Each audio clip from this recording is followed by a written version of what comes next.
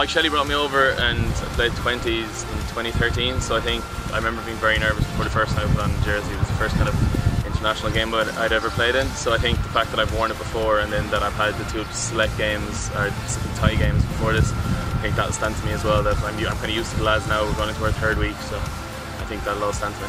Uh, I think I'm quite a good uh, manager of the game. I'm quite loud and vocal.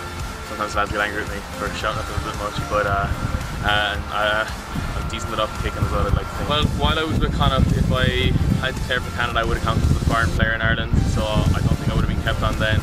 Um, so at the end of the season anyway, I've been released and I'm looking for a new club and I think this is a great way to put, put myself out there and it's something I wanted to do for a couple of years. It just kind of didn't suit my life at the time, but I think now I'm ready to embrace it and grab it with two hands.